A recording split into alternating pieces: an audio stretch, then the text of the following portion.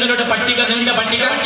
അടുത്ത തലമുറയിലേക്കും അതിന്റെ തൊട്ട- തൊട്ടടുത്ത തലമുറയിലേക്കും പകർന്നു കൊടുക്കുന്ന വിധത്തിലുള്ള ഒരു അധർമ്മത്തിന് തുടക്കം കുറിക്കാൻ ലോകത്ത് ഒരൊറ്റ ജീവിക്കും സാധ്യമല്ല. മനുഷ്യരല്ല. അതാണ് മനുഷ്യൻ. അപ്പോൾ ഇന്നത്തെ നാലാമത്തെ മനുഷ്യൻ കാട്ടുമൃഗങ്ങൾ എന്ന് പറയാൻ സാധ്യമല്ല. ഞാൻ ഒന്നുകൂടി സൂചിപ്പിക്കുകയാണ്. നമ്മൾ പത്രത്തിലൊക്കെ വായിക്കുമ്പോൾ പ്രയോഗിക്കുന്ന വായിക്കുന്ന ഒരു പ്രയോഗമാണ് പ്രസംഗ പ്രയോഗമാണ് ഈറ്റപ്പുലി എന്നത് എന്താണ് ഈറ്റപ്പുലിയും ഏറ്റവും ശൗരമുള്ള സ്വഭാവമാണ് ഈറ്റപ്പുലി. ഏറ്റവും അക്രമ സ്വഭാവമാണ്. ഈറ്റപ്പുലി എന്ന് പറഞ്ഞാൽ പ്രസവിച്ചു കിടക്കുന്ന പുലി എന്നാണ്. ആ പുലിയുടെ കുഞ്ഞിനെ ആരെങ്കിലും ഉപദ്രവം ചെയ്യുമോ എന്ന ഭയപ്പാട് കാരണം സകല അധർമ്മ സലവ അക്രമ സ്വഭാവത്തോടുകൂടി തികഞ്ഞ രൂക്ഷമായ രീതിയിലാണ് അതിരിക്കുക.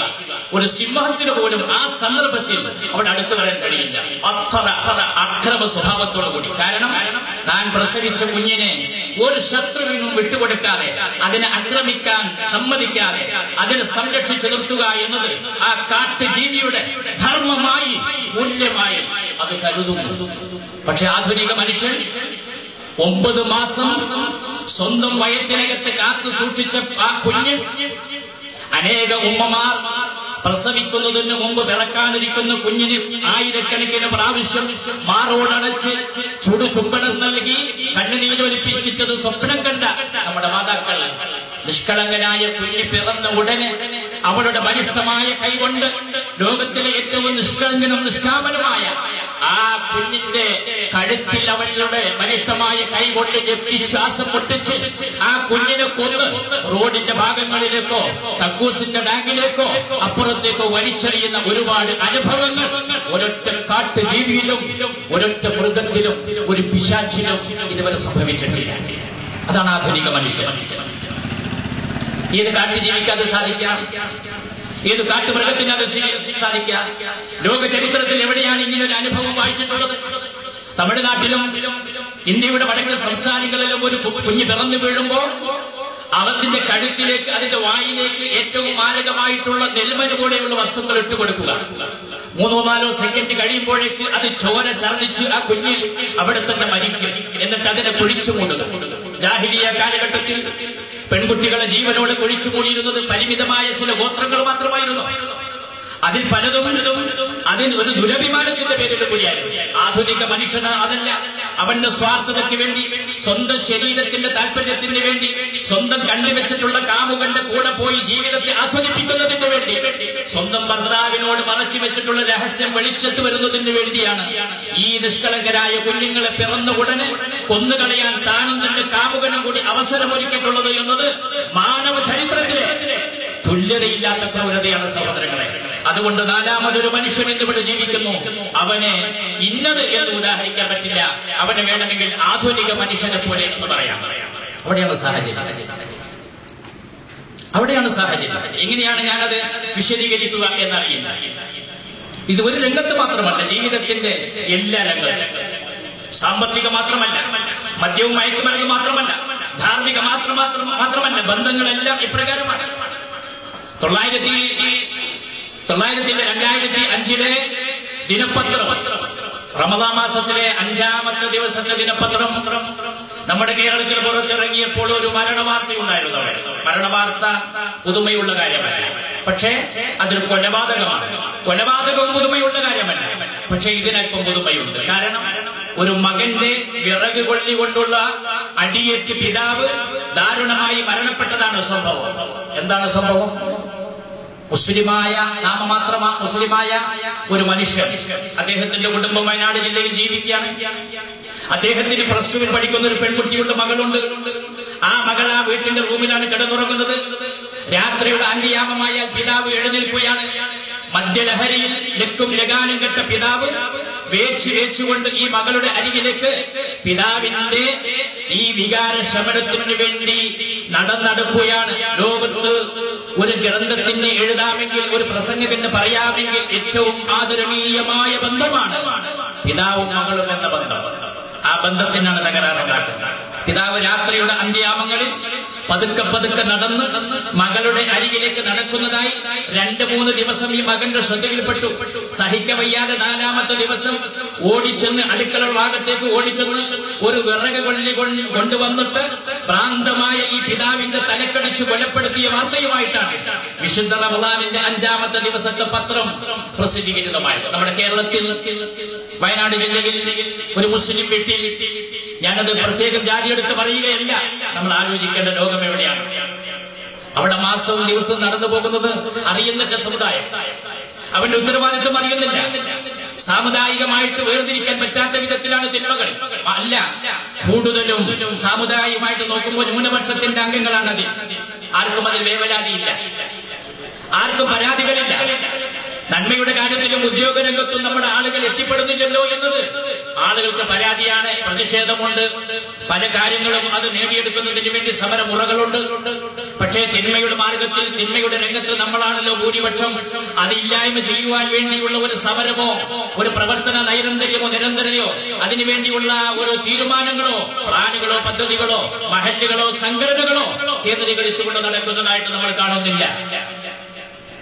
അപ്പൊ ജാതി പറയാൻ പറ്റില്ല.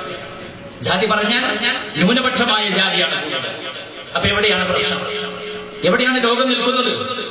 ഇന്നത്തെ ലോകത്തെ പറ്റി ഏകദേശം അറിയാം. നമ്മുടെ വീട്ടിൽ വരുന്ന ദിനപത്രം മാത്രമായി വായിച്ചാൽ വ്യക്തമായിട്ട് നമുക്കറിയാം.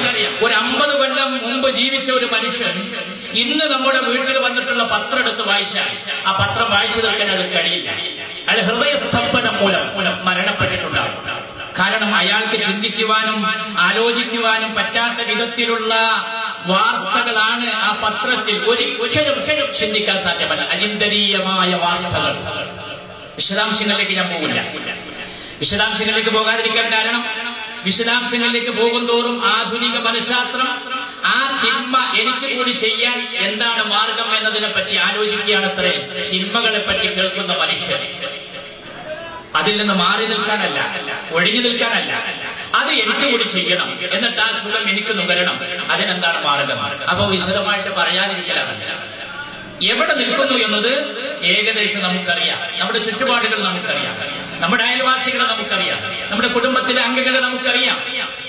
ഒരു വീട്ടിലേക്ക് മൂന്ന് നാല് പോലീസുകാർ ചടുതിയെ ഷോസൊക്കെ ഇട്ട് ഓടി വരികയാണ്.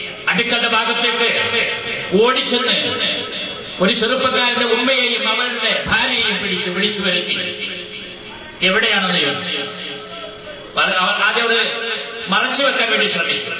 പക്ഷേ അവരുടെ അടുപ്പിൽ കത്തിക്കുന്ന ചാരം കൊണ്ടുപോയിടുന്നതിന്റെ താഴെ ഒരു കുഴി കുഴിച്ച് അവിടെ വളരെ അപകടകരമായിട്ടുള്ള വിഷമരുന്ന് മയക്കുമരുന്ന് സൂക്ഷിച്ചു വെച്ചിരിക്കുകയാണ്. മകൻ ബോംബെയിൽ പിടിക്കപ്പെട്ടിരിക്കുകയാണ്.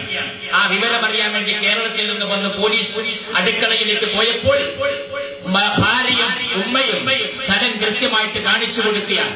വിറക് കത്തിക്കുന്ന ചാരം കൊണ്ടുപോയി ഇടുന്നതിന്റെ താഴെ കുഴി കുഴിച്ച് അവിടെയാണ് ഭദ്രമായിട്ട് സൂക്ഷിച്ചിട്ടുള്ളത്. ഉമ്മയുടെയും ഭാര്യയുടെയും സമ്മതത്തോടെ ലോകത്തെ ആകമാനം അപകടപ്പെടുത്തുന്ന മയക്കുമരുന്ന് ആ വീടുകളിൽ അനേകം പൊതികളിലായിട്ട് സൂക്ഷിച്ചു വെച്ചിട്ടുണ്ട്. ഒരു ഉദാഹരണം. നമ്മുടെ വീട്ടിലാണ്. സ്വന്തം വീട്ടിൽ. ഒരു വീട്ടിന്റെ മാത്രം പ്രത്യേകത ഒരു വീട്ടിന്റെ മാത്രം പ്രത്യേകത ഒട്ടുമിക്ക വീടുകളിലും ഇങ്ങനെയുള്ള സംരംഭങ്ങളുണ്ട്. ഇത് റബിയ ലെവൽ മാസമാണ്. ഒരു ഏതാനും രണ്ട് മൂന്ന് റബിയ ലെവൽ മാസങ്ങൾക്ക് മുമ്പ് പട്ടാമ്പിക്കടുത്ത് ആ റബിയ അവൽ മാസത്തിലെ മദ്രസായിലെ കുട്ടികളുടെ കലാവിനെ ആസ്വദിക്കാൻ വേണ്ടി ഒരു വീട്ടുകാർ പോവുകയാണ് അപ്പൊ തൊട്ടടുത്ത വീട്ടുകാർ അതിന് വരുന്നില്ലെന്ന് പറഞ്ഞു. അപ്പൊ അവരോട് പറഞ്ഞു ഞങ്ങൾ എല്ലാവരും പോവുകയാണ് വീട്ടിലേക്കൊരു ശബ്ദം വേണം.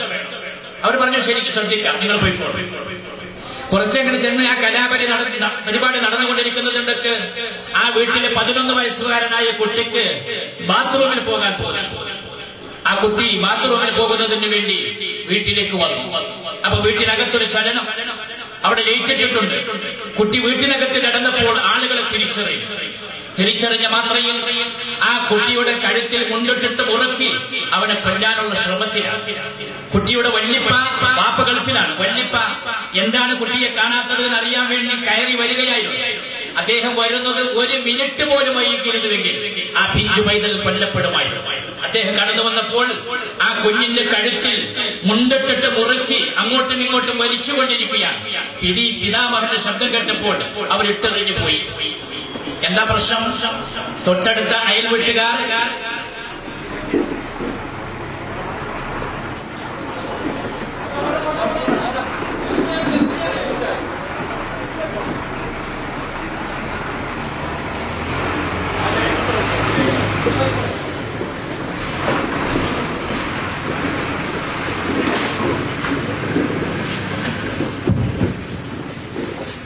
എന്തായാലും ഈ വീട്ടിൽ കുറച്ച് സ്വർണവും പണമൊക്കെ ഉണ്ടായിരുന്നു. അത് കട്ടെടുക്കാൻ വേണ്ടി വന്നിരിക്കുക ഈ അയൽവാസികൾ നോക്കണം എന്ന് പറഞ്ഞാൽ ഏൽപ്പിച്ചു പോയ അയൽവാസികൾ. അത് ഈ കുട്ടി കണ്ടപ്പോ ആണ് മനസ്സിലായപ്പോ കുട്ടിയെ കൊല്ലാനുള്ള പ്ലാനാണ് അപ്പോഴാ വല്ലിപ്പ വന്നത്. ആ കുട്ടിയുടെ ജീവൻ കിട്ടി. ഇപ്പൊ ധാരാഹാര തൊട്ടടുത്ത അയൽവാസികളാണ് നമുക്ക് അറിഞ്ഞിട്ടുണ്ടായിരുന്നു നമ്മൾ വിചാരിക്കും ഇതൊക്കെ നല്ല മനുഷ്യരാണ്. നമ്മുടെ അയൽപ്പക്കത്തെ ഹൈദറിന്റെയും മൊയ്തീന്റെയും ഒക്കെ മക്കളാണ്. എന്റെ ആര്യരുടെയും ആരുടെയും മക്കളാണ്. സഹോദരങ്ങളെ നമ്മൾ കാണുന്നത് യഥാർത്ഥ മനുഷ്യരെയല്ല. നമ്മൾ ഈ കാണുന്ന മുഖം യഥാർത്ഥ മനുഷ്യരെയല്ല. ഗോവിന്ദചാമിയെ പറ്റി എന്താ നമ്മുടെ അഭിപ്രായം? ഗോവിന്ദ ഗോവിന്ദചാമി ഒരു കൈ നഷ്ടപ്പെട്ടവനാണ്. ദൈന്യതയാർന്ന അദ്ദേഹത്തിന്റെ നടത്തം കാണുമ്പോൾ ട്രെയിൻ യാത്രക്കാർ ചോദിക്കാതെ തന്നെ വല്ല പൈസയും അദ്ദേഹത്തിന്റെ കീശയിലും കയ്യിൽ വെച്ചു കൊടുക്കുമായിരുന്നു കാരണം ഒരു കൈയില്ലല്ലോ. സാധുവായ ചെറുപ്പക്കാരനല്ലേ? മുഷിഞ്ഞ വസ്ത്രം ധരിച്ചിരിക്കുന്നു. ആ ഗോവിന്ദസ്വാമിയാണല്ലോ. ഷൊർണൂരിലേക്ക് പുറപ്പെട്ട ഒരു ട്രെയിന്.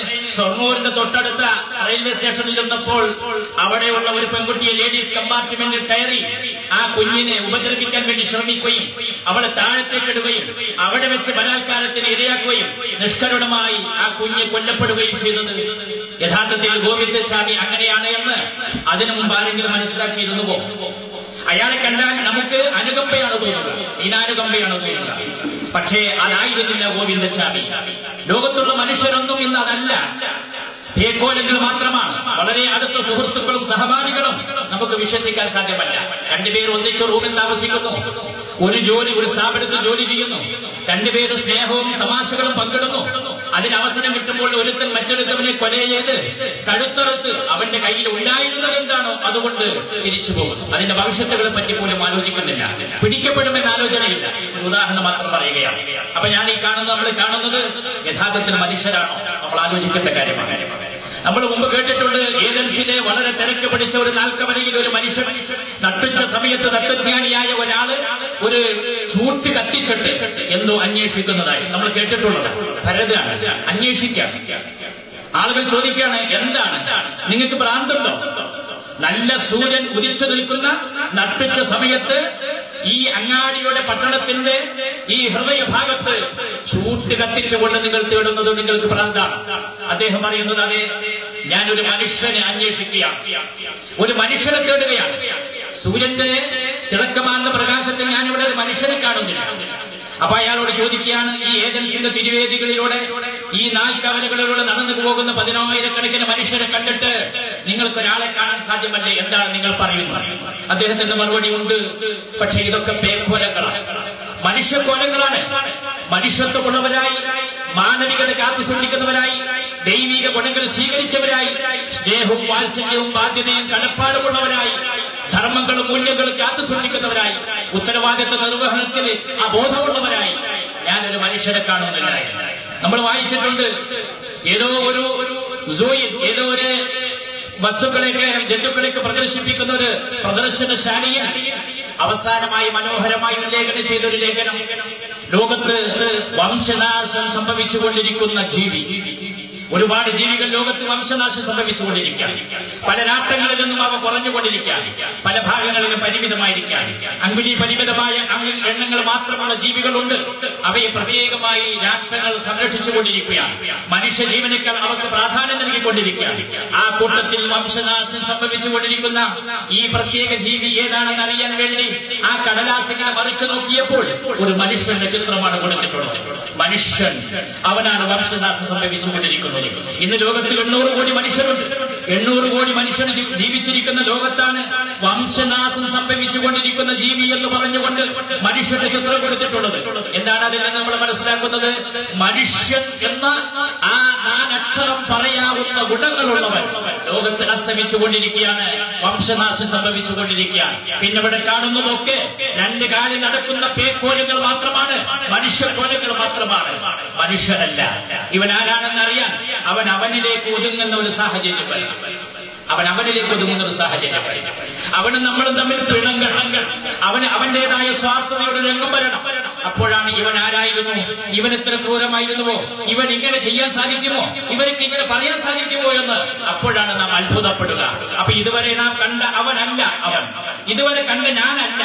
ഞാൻ എന്നിലേക്ക് ഒതുങ്ങിത്തീരുമ്പോൾ ഞാനായിത്തീരുന്നത്. ഈ ഇരിക്കുന്ന നിങ്ങളല്ല പലപ്പോഴും. നിങ്ങളിലേക്ക് ഒതുങ്ങിത്തീരുമ്പോൾ നിങ്ങളായിത്തീരും. അതാണ് പ്രശ്നം. ആ നിലയ്ക്ക് അപകടം പിടിച്ചൊരു സാഹചര്യത്തിലൂടെയാണ് നമ്മൾ നടന്നു പോകുന്നത്. ഇതിപ്പോ യുവാക്കൾ മാത്രം കുറ്റം പറഞ്ഞിട്ട് കാര്യമുണ്ടോ?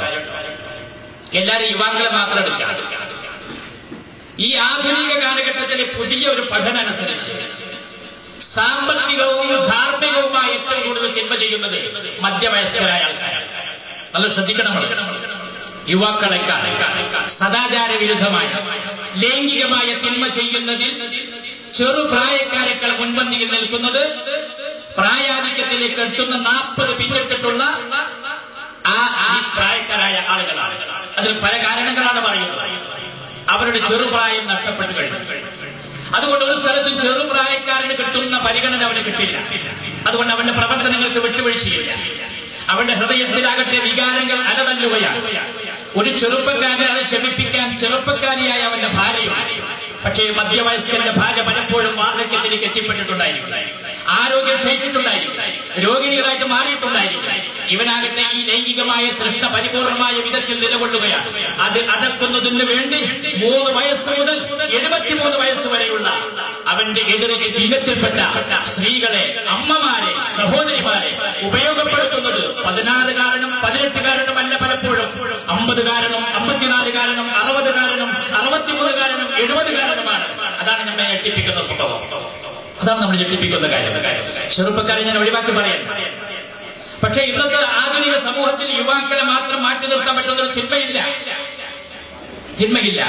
അഞ്ച് ചെറുപ്പക്കാര മക്കളുള്ള ഒരു പിതാവിനെ പറ്റി എനിക്കറിയാം. അഞ്ച് ചെറുപ്പക്കാർ ആൺമക്കൾ രണ്ട് പെൺമക്കളും ആ പെൺമക്കളും ആൺമക്കളും ഒന്നിച്ച് എന്റെ അരികിൽ വന്നിട്ട് ഒരു കേസ് പറഞ്ഞത് എന്താണെന്നറിയാം രാത്രിയായാൽ പിതാവ് റൂമിൽ വാതിലിട്ട് അടച്ചിരുന്ന് ലോകത്ത് കിട്ടാവുന്ന ഏറ്റവും മ്ലേച്ഛമായ രതികീടകളുടെ ചിത്രങ്ങൾ മണിക്കൂറുകളോളം കണ്ടുകൊണ്ടിരിക്കുകയാണ്. പിതാവിന് അതിൽ നിന്നൊന്ന് പിന്തിരിപ്പിക്കുവാൻ നിങ്ങൾ ഉപദേശിക്കണമെന്ന് പറയുന്നത് അഞ്ച് ചെറുപ്പക്കാരായ മക്കളാണ്. ചെറുപ്പക്കാരികളായ രണ്ട് പെൺമക്കളാണ്. ഏഴ് മക്കൾ. ഞങ്ങളെ വീട്ടിൽ പോയി. പക്ഷെ ആ സാഹചര്യത്തിൽ നിന്ന് അദ്ദേഹത്തെ തടയാൻ വളരെ പ്രയാസമാണ്. എങ്ങനെ മുഖത്ത് നോക്കി കാര്യങ്ങൾ പറയും? എങ്ങനെ ഇത് സംസാരിച്ചു തുടങ്ങും? അപ്പൊ ധർമ്മത്തിന്റെയും മൂല്യത്തിന്റെയും വിശു ദീനിന്റെയും പരലോകത്തിന്റെയും ഒക്കെ അടങ്ങുന്ന ചില ക്ലാസ്സുകൾ എടുത്തു എന്നല്ല നേർക്ക് നേരെ ഈ വിഷയം പറയാൻ നമുക്ക് പ്രയാസം. മക്കൾ കണ്ടിട്ടുണ്ട്. മക്കൾ അനുഭവസ്ഥരാണ്. പിതാവിനോട് പറയാൻ മക്കൾക്ക് ധൈര്യമില്ല. പിതാവ് ചെയ്യുന്നത് തെറ്റാണ് എന്നും നരകത്തിലേക്കുള്ള മാർഗമാണ് എന്നും ഏഴ് മക്കളും ഉറച്ചു വിശ്വസിക്കുന്നു. അവിടെ ആരാണ് തെറ്റുകാരൻ ഈ മക്കളെന്ന ചെറുപ്പക്കാരായ മക്കളല്ല. വൃദ്ധ വാർദ്ധക്യത്തിൽ അറുപത് കഴിഞ്ഞിട്ടുള്ള പിതാവാണ്. അറുപത് കഴിഞ്ഞിട്ടുള്ള പിതാവാണ്. ഞാനൊരു പള്ളിയിൽ ഹത്തീമായി കൊണ്ടിരിക്കുമ്പോൾ അവിടെ കാസറ്റ് സി ഡി കാസറ്റ് കടയിൽ ജോലി ചെയ്യുന്ന ഒരു ചെറുപ്പക്കാരൻ നല്ലൊരു ചെറുപ്പക്കാരൻ. അയാൾ താൽക്കാലികമായ കച്ചവടം അതാണെന്നേ ഉള്ളൂ. ഇപ്പോൾ അയാളത് മാറ്റി. നമ്മളുടെ ചില നിർദ്ദേശങ്ങൾ കാരണം വേറെ കച്ചവടത്തേക്ക് തിരിഞ്ഞു അദ്ദേഹം പറഞ്ഞത് നമ്മുടെ പള്ളിയിൽ എല്ലാ അഞ്ച് സമയത്ത് നമസ്കാരത്തിനും പങ്കെടുക്കുന്ന മുന്നത സെറ്റിൽ തന്നെ ഇരിക്കുന്ന ഒരു വ്യക്തി. വ്യക്തി എനിക്ക് പറഞ്ഞു ഞാൻ ആരോടും പറഞ്ഞിട്ടില്ല. ആ വ്യക്തി എല്ലാ ഇശാ നമസ്കാരം കഴിഞ്ഞു പോകുമ്പോഴും രണ്ട് കാസറ്റുകൾ അദ്ദേഹം എന്നിൽ നിന്ന് വാങ്ങും രണ്ടെണ്ണം വാങ്ങി പിറ്റേ ദിവസം കൊണ്ടുവന്ന് രാവിലെ തരും. രാത്രി പോകുമ്പോൾ വേറെ കൊണ്ടുപോകും. കൊടുക്കാതിരിക്കാൻ നിർവാഹമില്ല. എന്റെ ഏർപ്പാടാണ്. കൊണ്ടുപോകുന്നത് വലിയൊരു വല്ലിപ്പയാണ് അദ്ദേഹം വീട്ടിൽ വെച്ച് ഈ രണ്ട് കാസറ്റുകൾ നീലചിത്രങ്ങൾ കീടകളുടെ നീലചിത്രങ്ങൾ കണ്ടുകൊണ്ടിരിക്കുകയാണ്. അപ്പൊ ഇതിൽ ചെറുപ്പക്കാരെന്ന് പറയാൻ പറ്റില്ല. ചെറുപ്പക്കാർ മാത്രമല്ല ലോകമാകമാനമാണ് പത്ത് വയസ്സായ ഒരു സുഹൃത്ത് ഒരു കുട്ടി പതിനൊന്ന് വയസ്സുകാരായ പെൺകുട്ടിയെ ലൈംഗികമായ താല്പര്യത്തിന് വേണ്ടി കൃത്യമായി സമ്മതിക്കാത്തതിന്റെ പേര് കുളത്തിലേക്ക് തള്ളിയിട്ട് കൊലപ്പെടുത്തിയത് നമ്മൾ വാദിച്ചു. നമ്മൾ വായിച്ചു. ഞാൻ പറഞ്ഞു നേരത്തെ ഇതിന്റെ വിശദാംശങ്ങൾ പറയാൻ ഞാൻ ഉദ്ദേശിക്കുന്നത് ശരിയല്ല. ലോകം എവിടെ നിൽക്കുന്നുണ്ടെന്ന്. ലോകത്തെ പറ്റി നമ്മൾ പഠിക്കുന്നില്ല. മനുഷ്യർ എവിടെ എത്തിയിട്ടുണ്ടെന്ന്. എങ്ങനെയാണ് ഇവനെ നേർവഴിയിലേക്ക് കൊണ്ടുവരിക ചിന്തിപ്പിക്കുക എന്നുള്ളത്? ഇവൻ മറ്റൊരു ലോകത്താണ് മൃഗലോകത്താണ് കാട്ടുജീവികളുടെ ലോകത്താണ് വൈശാലിക ലോകത്താണ്. മനുഷ്യലോകത്തല്ല മനുഷ്യ മനുഷ്യകുലത്തിലല്ല അവന്റെ ജീവിതം. ഈ പേക്കൂത്തുകളുടെ ഈ അസാൻമാർഗതികളുടെ ഈ അധാർമികതകളുടെ ലോകത്താണ്. അതിന് ഉപോത്ഭവമായിട്ടുള്ള സഹായകമായിട്ടുള്ള സംവിധാനങ്ങളാണ് നമ്മുടെ രാജ്യത്ത് നടക്കുന്നത്. ഇതിന്റെ എല്ലാറ്റിന്റെയും പ്രചോദനം എന്താ? റസൂൽ റസൂൽ പറഞ്ഞതെന്താ? മദ്യവും മയക്കുമരുന്നുമാണ്. മദ്യവും മയക്കുമരുന്ന് സഹോദരങ്ങളെ വ്യാപകമായിട്ടുള്ള ഒരു തിന്മയാണ്. എങ്ങനെയാണ് അതിന്റെ വ്യാപനത്തെ പറ്റി പറയാതറിയാം എന്താ പറഞ്ഞിട്ട് കാര്യം എന്നും പറയും. മലപ്പുറം ജില്ലയിൽ വളരെ കുലീനമായ ഒരു കുടുംബത്തിൽ ഒരു മുപ്പത് കൊല്ലങ്ങൾക്ക് മുമ്പ് ഞാൻ ഒരിക്കൽ സന്ദർശിക്കുകയുണ്ടായി. ഒരു ആവശ്യത്തിന് വേണ്ടി ഒരു പിരിവിന് വേണ്ടി പോയതാ അപ്പൊ അകത്തു നിന്ന് ഒരു ഞെരങ്ങിനും മൂളലും കേട്ടു. ഞെരങ്ങിനും മൂളലും കെട്ടപ്പോൾ അതിനെപ്പറ്റി അന്വേഷിച്ചു. പല ആളുകളും അപ്പോൾ മറുപടി പറഞ്ഞില്ല. തിരിച്ചു പോരുമ്പോൾ ഞങ്ങൾക്ക് കൂടെ പോതിരുന്ന പരിചയപ്പെടുത്താൻ വേണ്ടി പോതിരുന്ന ആൾ പറഞ്ഞു അത് ഈ സഹോദരന്റെ ഈ വീട്ടുടമയുടെ മൂത്ത മകനാണ്. ആ മകന്റെ പേര് നൂർ ഹാജി എന്നാണ്. വേറെ പേര് മുഹമ്മദ് നൂർ ഹാജി എന്നാണ്. ചെറുപ്പക്കാരൻ. അയാളെ ചങ്ങലയിൽ ബന്ധിച്ച് റൂമിലിട്ടിരിക്കുകയാണ്. മയക്കുമരുന്നിന് അടിപ്പെട്ട് മയക്കമില്ലാതെയാകുമ്പോൾ ഭ്രാന്തമായ സ്വഭാവം കാണിച്ച് കുടുംബത്തിൽ പ്രശ്നങ്ങൾ ഉണ്ടാക്കുന്ന കാരണം ഉന്നതമായ ഒരു കുടുംബത്തിന് പള്ളിക്കാരണവരിൽ ഒരാളായുള്ള മകന് റൂമിൽ ബന്ധിച്ചു ചങ്ങലക്കിടപ്പെട്ടിരിക്കുകയാണ്. തൃശൂർ ജില്ലയിൽ ഒരു പള്ളിയിൽ ഞാൻ ജോലി ചെയ്യുമ്പോൾ ഒരു പിതാവ് വന്നുകൊണ്ട് കണ്ണുനീർ ഒഴിപ്പിച്ചുകൊണ്ട് ചോദിക്കുകയാണ് മൗലവി ഈ വിധത്തിൽ ചഞ്ച ചെയ്യുന്ന സമ്പത്ത് മുഴുവൻ നഷ്ടപ്പെടുത്തുന്ന പാതിരാക്ക് വന്ന് കുടുംബത്തിലുള്ളത് മുഴുവൻ തോക്ക് ചൂണ്ടി അല്ലെങ്കിൽ പിന്നെ കത്തി ചൂണ്ടി വാങ്ങിക്കൊണ്ടുപോകുന്ന മകനെ അനുജന്മാരുടെ സഹായത്തോടെ കൊന്നുകളഞ്ഞാൽ ഇസ്ലാമിക ദൃഷ്ട്യാ ശിക്ഷ കിട്ടുമോ എന്ന് ഞാൻ ജീവിക്കാൻ പ്രയാസപ്പെടുകയാണ്. സമ്പത്ത് മുഴുവൻ നഷ്ടപ്പെട്ടു കുലീനമായ ഒരു കുടുംബം ഇവന് ഭ്രാന്താണ്. അവൻ ആ വീട്ടിൽ നിന്ന് പോകും. പത്തോ പതിനഞ്ചോ ഒരു മാസമോ കഴിയുമ്പോൾ കയ്യിലുള്ളത് കഴിയുമ്പോൾ രാത്രി വരും. രാത്രി വന്ന് ഉമ്മയെ ഒരു ഭാഗത്തേക്ക് അടി- അടുപ്പിച്ച് നിർത്തി ഉമ്മയുടെ പിന്നെ കഴുത്തിലേക്ക് കത്തി പിതാവിനോട് കയ്യിലുള്ളതും ബാങ്കിലുള്ളതും മേശയിലുള്ളതും മുഴുവൻ എടുത്ത് പറയാൻ വേണ്ടി പറയും. അത് കൊടുത്തില്ലെങ്കിൽ കളാപ്പമാരോട് ഫോൺ ചെയ്ത് പണം ഇവിടെ എത്തിക്കും അത് വാങ്ങിപ്പോകും. അത് കഴിഞ്ഞാൽ രണ്ടാമത് പോലും ഒരു ശല്യം. ആ കുടുംബം തന്നെ ദരിദ്ര കുടുംബമായിട്ടുണ്ട്. ലോകത്തെ അറിയിച്ചിട്ടില്ല നാട്ടുകാരെ അറിയിച്ചിട്ടില്ല. ആ അപമാനം സഹിച്ചാണ് ആ സഹോദരൻ ജീവിക്കുന്നത്. അയാൾ എന്നോട് ചോദിക്കുകയാണ് ഇത്തരത്തിലുള്ള മകനെ കൊന്നു കളഞ്ഞാൽ അള്ളാഹുവിന്റെ അടുക്കൽ നിന്ന് ശിക്ഷ കിട്ടുമോ? എന്താണ് അതിന്റെ മതവീതി എന്ന്? സഹോദരങ്ങളെ അവിടെയാണ് ലോകം. നമ്മൾ അറിഞ്ഞിട്ടില്ല എന്ന് മാത്രം. നമ്മൾ വിചാരിക്കാൻ ഇതൊന്നും നമ്മുടെ നാട്ടിലേക്ക് വരില്ല. നമ്മുടെ നാട് പോലത്തെ നാട്ടിൽ വന്നതിനെ സംബന്ധിച്ച് നമ്മൾ ഈ പറയും. വേറെ എവിടെയല്ല. അമേരിക്കയിലോ പടിഞ്ഞാറ് രാജ്യങ്ങളിലോ അല്ലെങ്കിൽ ബോംബെയിലെ തന്നെ ചുവന്ന തെരുവിലോ അല്ലെങ്കിൽ ഡൽഹിയിലോ അല്ലെങ്കിൽ മദ്രാസിലോ അത്ര പോലെയുള്ള പിന്നെ പട്ടണങ്ങളിൽ പോലും നടന്ന കാര്യങ്ങളല്ല. ഗ്രാമങ്ങൾ നടക്കുന്ന കാര്യമാണ്. അത്രമാത്രം. അപ്പൊ ലഹരി പദാർത്ഥം. മദ്യമയക്ക മരുന്നുകളുടെ അനിയന്ത്രിതമായ ഉപയോഗം. നമ്മുടെ ഗവൺമെന്റ് അതിന് അനുമതി കൊടുത്തിരിക്കുകയാണ് എന്നിട്ട് കണ്ടുപിടിച്ചവരൊക്കെ പിടിച്ചു കൊണ്ടുപോകാം ബുദ്ധിശൂന്യത എന്നല്ലാതെ എന്താ പറയാ? ഇന്നയിടത്തും ഇന്നയിടത്തും വെച്ച് കണ്ടു കുടിക്കരുത്. കുടിച്ചാൽ തന്നെ ശല്യം ചെയ്യരുത്. ശല്യം ചെയ്യരുതെന്ന് ബോധമുണ്ടാകുന്നതാണ് ഇപ്പൊ കുടിക്കുന്നത് നമ്മുടെ കൂറ്റനാട് ഒരു കള്ളുഷാപ്പിന്റെ പേരെന്താ? ദേവലോകം. അതായത് അതാണ് കുടിച്ചാൽ ദൈവത്തിന്റെ ലോകത്തേക്കാണ്. അപ്പൊ എന്താ ദേവലോകം? അന്തസ്സും അഡ്രസ്സും ഇല്ലാത്ത ലോകം അത് തന്നെ. ഏതാണ് ദേവലോകം? ഈ റോഡിന്റെ ചെരുവിലാണ് പിന്നെ അവിടെ കിടക്കുക. പുളിറുമ്പ് ഇങ്ങനെ ആകെ നാറി അടുത്തിട്ടുണ്ടാവും മൂക്കിലൂടെയും തൊള്ളയിലൂടെയും നടക്കുന്നുണ്ടാവും. നായ്ക്കളിങ്ങനെ ചെന്നിട്ട് മൂത്രമൊഴിക്കുന്നുണ്ടാവും. നടന്നു പോകുന്ന ആളുകളൊക്കെ കാലുകൊണ്ട് തട്ടും. പണം കൊടുത്ത് വാങ്ങിയ മനുഷ്യനാണ് ഈ കിടക്കുന്നത്. ലോകത്തിലെ ഏറ്റവും നികൃഷ്ടനായ ജീവി. പട്ടിയും പന്നിയും ശരീരത്തിൽ മൂത്തൊഴിക്കുമ്പോൾ അരുതെന്ന് പറയുവാനുള്ള കരുത്തവനില്ല. എന്റെ സുഹൃത്ത് എന്ന് പറഞ്ഞ് ആഞ്ഞ് പട്ടിയുടെ തല പിടിച്ച് ചുംബിക്കാൻ വേണ്ടി ശ്രമിക്കുക. ഈ മനുഷ്യ മൃഗം. അല്ലെ നമ്മുടെ നാട്ടിൽ നടക്കുന്നത് എന്നിട്ട് അതിന് വേണ്ടത്ര പ്രോത്സാഹനം അതിന് വേണ്ടത്ര അവസരങ്ങൾ സ്കൂളുകളോടനുബന്ധിച്ച് ആരാധനാലയങ്ങളോടനുബന്ധിച്ച് അതിനൊക്കെ ചില നിയമങ്ങളുണ്ട്. എവിടെ? കടലാസ് കടലാസ് നിയമങ്ങളുണ്ട്. അത് പ്രായോഗികമാക്കാൻ ഇവിടുത്തെ ഭരണകൂടത്തിന് സാധ്യമല്ല. പോലീസുകാർക്ക് സാധിക്കുമെങ്കിലും ഭരണകൂടത്തിന് പിന്നെ നിന്ന് കൊടുക്കില്ല. അതിനനുസരിച്ച് നിന്ന് കൊടുക്കില്ല. പോലീസുകാരെ കുറ്റവാളിയെ പിടിച്ച് കയ്യിൽ കൊടുത്താൽ വിടുക വെറുതെ. പോട്ടെ. സ്വതന്ത്രനാണ്. മുകൾ ഭാഗത്തുള്ള നിർദ്ദേശം നമ്മുടെ ആളാണ്. നമ്മുടെ ആളോട് ചേർന്ന ആളാണ്. ചേർന്ന ആളോട് ചേർന്ന ആളാണ്. കണ്ടവനെ കണ്ടവനാണ്. അതുകൊണ്ട് അവനൊന്നും ചെയ്യരുത് വെറുതെ ആലപ്പുഴ ജില്ലയിൽ ഒരു കുറ്റവാളി പഠിച്ചിട്ട് പോലീസുകാർ മൂന്നര മണിക്കൂർ ടൗണിലൂടെ ചുറ്റി. കാരണം പോലീസ് സ്റ്റേഷനിലേക്ക് എത്തി അപ്പ വിളി വരും അപ്പ പുറത്തു വരണം ഇവനെ കൊണ്ടുള്ള സഞ്ചി സഹിക്കാൻ വയ്യാതെ ടൗണിലൂടെ പിന്നെ അങ്ങനെ പിന്നെ ഓടിച്ചിട്ട് പോലീസുകാർ അങ്ങനെ കൈകാര്യം ചെയ്തു. അവസാന സ്റ്റേഷനിൽ ഹാജരാക്കി ഉടനെ നിർദ്ദേശം വന്നു. കൊണ്ടുപോകാൻ പറഞ്ഞപ്പോൾ നടക്കാൻ പറ്റുന്നില്ല. ആ കോലത്തിലാക്കി എടുത്തിട്ടുണ്ട്. അതേ മാർഗമുള്ളൂ അത് വേറൊരു കാര്യം ഞാൻ പറയാം. അപ്പോ ഇവിടെ തിന്മകൾക്ക് നിയമത്തിന്റെ പിന്നെ ആനുകൂല്യങ്ങളാണ്. നമ്മുടെ ഭരണഘടനയുടെ ആനുകൂല്യങ്ങളാണ്. ആയിരം കുറ്റവാളി വെറുതെ വിടപ്പെട്ടാലും ഒരു നിരപരാധി ശിക്ഷിക്കാൻ പാടില്ല. ഉദാത്തമായ ആദർശം പക്ഷെ ഇവിടെ എന്താ സംഗതി നടക്കുന്നത്? ആയിരക്കണക്കിന് നിരപരാധികൾ ശിക്ഷിക്കപ്പെടുക ഒരു കുറ്റവാളി ഒഴിവാക്കപ്പെടുക. നമ്മുടെ നാട്ടിൽ അറിഞ്ഞുകൊണ്ട് കൊണ്ട് നിയമം കൃത്യമായി നടപ്പിലാക്കാൻ കഴിയാനുള്ള നടപ്പിലാക്കാനുള്ള അന്തസ്സുകളുടെ ഭരണകൂടങ്ങൾ മാറി മാറി ആര് വന്നാലും ഭരിച്ചാലും അതേ നമ്മുടെ രാജ്യത്തൊക്കെ നടക്കും. ജനാധിപത്യം എന്നാണ് ഓമനപ്പേര് ഇവിടെ ജനാധിപത്യം ഒന്നുമല്ല ഒരു ഒമ്പത് മണിയും പത്ത് മണിയും പതിനൊന്ന് മണിയുമായാൽ നമ്മുടെ കേരളം ഭരിക്കുന്നത് ആരാ? മുഖ്യമന്ത്രിയാണോ? തിരുവഞ്ചൂർ രാധാകൃഷ്ണനാണോ? അതത് തലസ്ഥലങ്ങളിലെ പോലീസുകാരാണ്? നിങ്ങൾ തൊട്ടടുത്തുള്ള കുറ്റിപ്പുറത്ത് ബസ് സ്റ്റാൻഡിലോ കുറ്റിപ്പുറത്ത് റെയിൽവേ സ്റ്റേഷനിലോ പോകി പട്ടാമ്പിയിലെയും തിരൂരിലെയും റെയിൽവേ സ്റ്റേഷനിലും അതേപോലെ തന്നെ മറ്റ് സ്ഥലങ്ങളിലും പോകി ആരാണ് രാജ്യം ഭരിക്കുന്നത്? ആരാണ് രാജ്യം ഭരിക്കുന്നത്? മീൻ മാർക്കറ്റിലും മത്സ്യ മാർക്കറ്റിലും രാജ്യം ഭരിക്കുന്നത് പട്ടികളും നായ്ക്കളുമാണ്. അതേസമയത്ത് ഇത്തരം സ്ഥലങ്ങളിൽ രാജ്യം ഭരിക്കുന്നത് കശ്മരന്മാരാണ് കൊള്ളക്കാരാണ് കൊട്ടേഷൻ സംഘങ്ങളാണ്.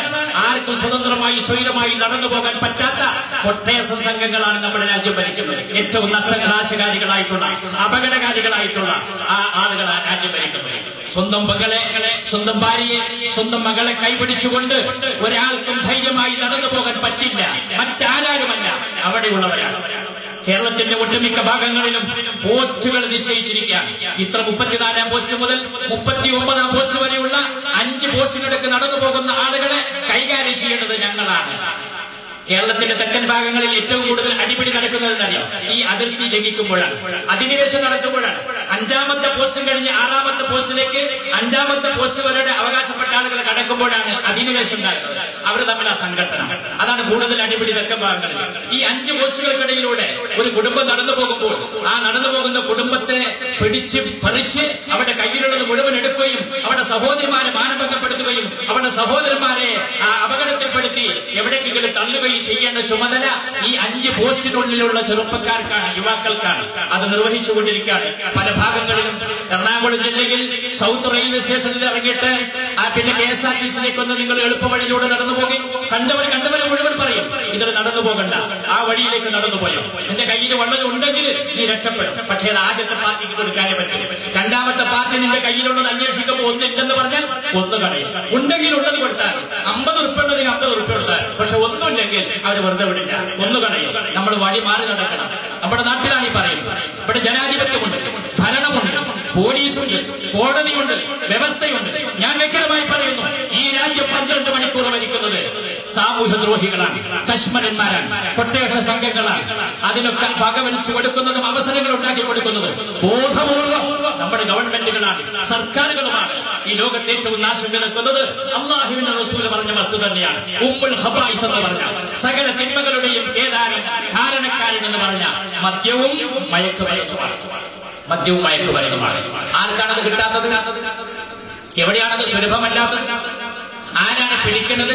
ഒറ്റ കൊടുക്കുമ്പോ മാത്രമാണ് പിടിക്കുക പോലീസുകാർക്കൊന്നും കൊണ്ടെത്താൻ പറ്റുന്നില്ല രഹസ്യ വിവരം കിട്ടിയതിന്റെ അടിസ്ഥാനത്തിൽ ഇന്ന എസ് ഐ പിടിച്ചു ഇന്ന സി ഐ പിടിച്ചു. അവർക്കൊക്കെ ഉള്ള ബഹുമാനമാണ് കിട്ടിയത് എങ്ങനെ? വേറെ ആരോ പറഞ്ഞു കൊടുത്തിട്ട്. ഇവർക്കൊന്നും ഒന്നും കണ്ടെത്താൻ കഴിയില്ലേ? അതോ കണ്ടു കഴിച്ചിട്ട് കണ്ടെത്തിയിട്ടും കണ്ണ് ചിമ്പുകയാണോ? വ്യക്തമായി നാം മനസ്സിലാക്കുന്നു എല്ലാവരും ഇല്ല പലരും കണ്ടു ചിമ്പുകയാണ്. ഈ വിധത്തിൽ സാർവത്രികമായി ഈ അധാർമികതകളുടെ കുത്തൊഴുക്കിന് ഈ രാജ്യത്തെ വരും തലമുറയെ വിട്ടുകൊടുത്താൽ ഒരു പത്ത് കൊല്ലം വരുമ്പോഴേക്ക് ഇവിടെ എന്ത് സംഭവിക്കുമെന്ന് സഹോദരങ്ങളെ ഇപ്പോൾ ആലോചിക്കാവുന്നതേ ഉള്ളൂ അതുകൊണ്ട് ഇതിനൊരു മാറ്റം വേണം. വേണം എല്ലാവരും ആഗ്രഹിക്കാം. ചില ആൾക്കാർ ആഗ്രഹം വെറുപ്പറിച്ചതാണ് ഈ ഭരണകർത്താക്കളും ഭരണീയരും രാഷ്ട്രീയക്കാരും ഇങ്ങനെ വല്ല കാര്യം പറയാൻ നിങ്ങൾ മനസ്സിലാക്കണം. വെറുതെ പറയാൻ പറയും ആത്മാർത്ഥമായിട്ട് പറയാൻ പറയും ആത്മാർത്ഥമുള്ള കുറെ മനുഷ്യന്മാരുണ്ട് ഇതൊക്കെ ഒന്ന് മാറിക്കിട്ടണം. എങ്ങനെ മാറും? എവിടെ നിന്ന് തുടങ്ങും? ഭീഷണി കൊണ്ടോ? നിയമങ്ങൾ കൊണ്ടോ? ശിക്ഷാ നടപടികൾ കൊണ്ടോ? മാറ്റിയെടുക്കാൻ കഴിയുമോ? ഇവിടെ എന്താണ് രാജ്യത്ത് വരുന്നത്? കുറ്റവാളിയോടൊരു അനുകമ്പ. കുറ്റവാളിയോട് അനുകമ്പ.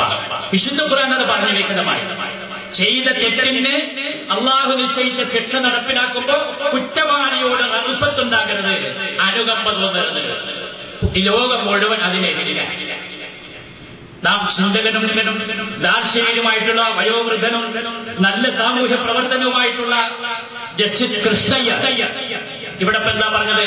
ആ ഡൽഹിയിലെ പ്രശ്നങ്ങളുമായി ബന്ധപ്പെട്ടപ്പോ കൊലപാതകം കൊടുക്കണമെന്ന് പറഞ്ഞപ്പോൾ അദ്ദേഹം എന്താ പറഞ്ഞത്? കൊലപാതകം പ്രശ്നത്തിന്റെ പരിഹാരമല്ല. രണ്ട് കൊല നടക്കുന്നു എന്നതിലുപരി ഒന്നും നടക്കാൻ പോകുന്നില്ല. കൊല വർദ്ധിക്കല്ലാതെ പ്രശ്നത്തിന്റെ പരിഹാരമാകുന്നില്ല. അദ്ദേഹം ഒരു ജസ്റ്റിസ് ആണ് അത് തന്നെ ഈ രാജ്യത്തിന്റെ സാഹിത്യങ്ങളും ഭാഷയും സംസ്കാരങ്ങളും അതിന്റെ ഊടുപാടും ശരിക്ക് പഠിച്ചിട്ടുള്ള ചിന്തകനായ ഒരു മനുഷ്യനാണ്. അദ്ദേഹം ഇത്ര ചിന്താശൂന്യനായത് എന്തുകൊണ്ടാണ് അത് നമ്മൾ ആലോചിക്കേണ്ടതാണ്. അതാണ് അവിടെ നടക്കുന്നത്. കൊല വർദ്ധിക്കുകയാണ് ചെയ്യുക കൊലപാടിയെ ആധുനിക മനഃശാസ്ത്രം അനുസരിച്ച് ഒരുപാട് കൊലയാളികൾ രംഗത്ത് വന്നിട്ടുണ്ട്. എന്താണ് അവിടെ കൊലയുടെ പ്രേരണ എന്നറിയുമോ? നിങ്ങൾ പത്രത്തിൽ വായിച്ചിട്ടുണ്ടാവും. അതായത് ഒരു മനുഷ്യനെ കരുണയില്ലാതെ കൊന്നു കളയുമ്പോൾ ആ മനുഷ്യൻ മരണവുമായി മല്ലിടുന്ന ആ അവസാനത്തെ രംഗണ്ടല്ലോ ആ പിടച്ച് ആത്മാവ് ശരീരത്തിൽ നിന്ന് വിടവാങ്ങുമ്പോ ആ കാണിക്കുന്ന വെപ്രാളം